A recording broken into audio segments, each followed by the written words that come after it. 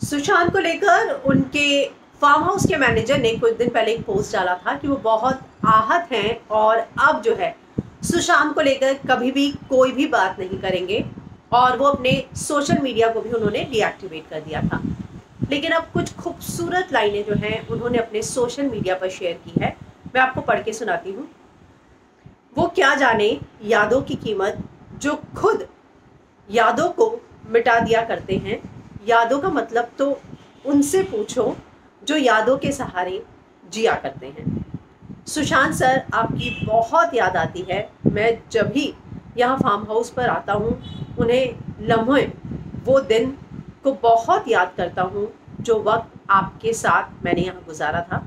मुझे आज भी याद है वो लम्हे, sir. I miss you Sushant sir.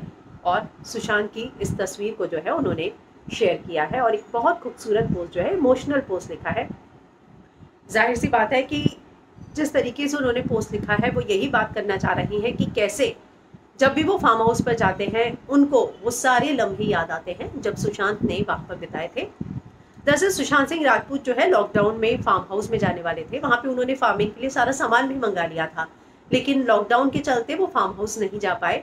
और इस बात को भी रईस ने बहुत बार शेयर किया था कि काश आप मार्च में यहाँ आ जाते तो आज आप हमारे बीच में होते। और अब उन्होंने सुशांत को मिस करते हुए इस तरीके से खूबसूरत पोस्ट जब मैं पढ़ रही थी। मुझे बहुत ज़्यादा ऐसा लगा कि मानो वो दिल से सुशांत को मिस कर रहे हैं और बहुत ज़्यादा जब भावुक हो जाता है कोई इंसान तो दिल से जो बात निकलती है ना, कुछ वैसी बात मुझे लगी।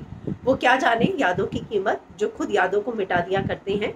यादों का मतलब जो उनसे पूछे जो यादों के सहारे जिया करते हैं। तो एक बहुत ही खूबसूरत लाइनें जो हैं, उन्होंने शेयर की और सुशांत की तस्वीर को डाला और लिखा कि कैसे आज भी वो लम्हों को याद करते हैं जो उन्होंने सुशांत के साथ बिताए थे।